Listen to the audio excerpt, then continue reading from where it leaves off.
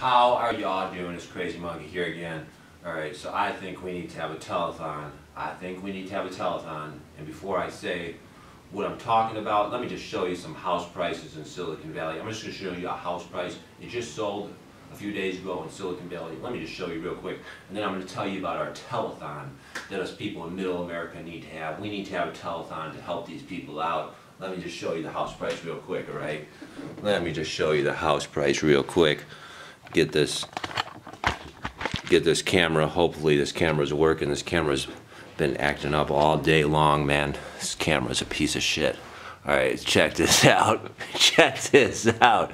Here's a house in Silicon Valley. Silicon Valley, that's where all the tech jobs are located. It's real close to all the tech jobs. The tech jobs that will pay you 200,000 a year be a techie in Silicon Valley where you can be stuck in traffic jams all day long.